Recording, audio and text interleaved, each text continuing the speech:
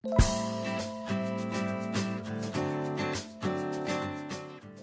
ัดเจนแล้วเลือกใคร แพทนปภาเคลียร์ทุกดราม่าเบนและพี รู้เลยว่าเลือกใครแล้ว กลายเป็นดราม่าอย่างหนักหน่วงเข้ามาถึงคุณแม่ลูกหนึ่งสุดสตรองสำหรับแพทนปภาอย่างหนักว่า ตอนนี้ความสัมพันธ์กับเบนเรซิ่งคุณพ่อของลูกชายน้องเรซิ่ง เป็นยังไงกันแน่ และกลับมาเป็นสามีภรรยากันเหมือนเดิมหรือเปล่า หลังเบนเรซิ่งได้รับการพิสูจน์ความบริสุทธิ์พ้นคุกกลับมา ได้รับอิสรภาพอีกครั้ง แถมแพทยังได้ออกมาพูดถึงที่เคยเปิดไพ่ดูดวงว่า จะมีสิ่งที่แพทรอคอย และรอคอยมานานหลายปีจะเกิดขึ้น และสิ่งนี้ที่เกิดขึ้น ตรงตามคำทำนาย จนหลายคนโยงว่า สิ่งที่แพทรอคอยก็คือเบนเรซิ่งหรือเปล่า พร้อมกับกระแสดราม่าถล่มอย่างหนักว่า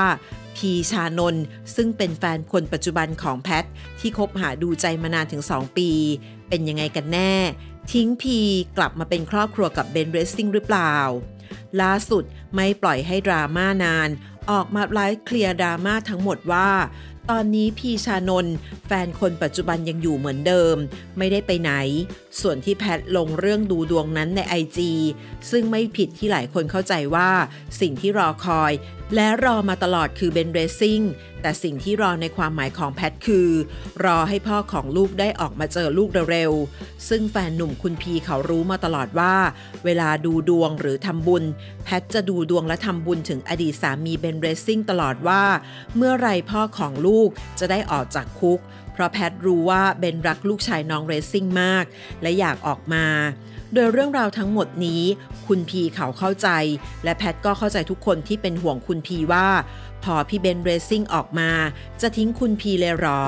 ซึ่งความจริงแล้วมันไม่ใช่ คุณพียังอยู่เหมือนเดิม และเราทั้งคู่ก็คบหากันเกือบ 2 ปีแล้วสำหรับเรื่องที่มีคนมาจับประเด็น และคอมเมนต์ดราม่าว่าแพทลบและซ่อนรูปของคุณพีออกไปหมดใน IG นั้น ด้านแพทนปภาออกมาโต้ว่าไม่เป็นความจริง ซึ่งที่ผ่านมาแพทไม่เคยลงรูปกับคุณพีใน IG เลย แต่จะลงใน TikTok ซึ่งตอนนี้รูปกับคุณพีก็ยังมีอยู่ ไม่ได้ซ่อนเลย และยังลงคลิปด้วยกันตามปกติ ซึ่งตอนนี้คุณพียังอยู่ในจุดเดิม ที่คุณพีเข้าใจแพทมากๆ ด้านเรื่องที่แพทร้องไห้ในรายการหนึ่ง เนื่องจากตัวเองกังวลเรื่องลูกชายน้องเรซิ่งมาตลอดว่า ลูกจะโดนคำถามเรื่องพ่อเคยติดคุกหรือเปล่า และเป็นห่วงความรู้สึกของลูกมาก จนเมื่อวันพุธที่ 25 ตุลาคมที่ผ่านมา พอลูกขึ้นมาบน่นน้องเรซิ่งได้พูดกับแพทว่า โดนเพื่อนถามว่า พ่อเธอติดคุกหรอ จึงทำให้สิ่งนี้จี้ใจแพทมาก ด้วยความที่หัวใจแพทรักลูกมากสำหรับเรื่องความสัมพันธ์กับเบนเรซิ่งนั้น มันไปไกลมาก ซึ่งหลายคนอาจจะลืมว่า พี่แพทกับพี่เบนได้ทำการตกลงที่จะยุติความเป็นสามีภรรยา เมื่อประมาณ 3-4 ปีที่แล้ว และคงเหลือไว้ความเป็นพ่อแม่ของน้องเรซิ่งเท่านั้น ซึ่งการที่แพทรอคอยไม่ได้รอคอยเพื่อจะกลับมาเป็นสามีภรรยา แต่รอเพื่อให้เขากลับมาใช้ชีวิตกับลูกชาย ตามที่เขาหวังเอาไว้ และไม่มีใครอยากให้พ่อของลูกอยู่ในคุกนานๆหรอก กลับมาในจุดที่เขากลับมาใช้ชีวิต ได้เล่นกับลูก และรักสนิทกับลูกอีกครั้ง เพราะครั้งล่าสุดเบนกับลูกห่างกัน 3 ปี และเขาก็ไม่ได้ใกล้ชิดกันเลย พร้อมยืนยันว่าแพทไม่ได้เอาคุณพีมาขั้นเวลารอพี่เบนซึ่งพี่เบนกับแพทมีเป้าหมายเดียวกันก็คือ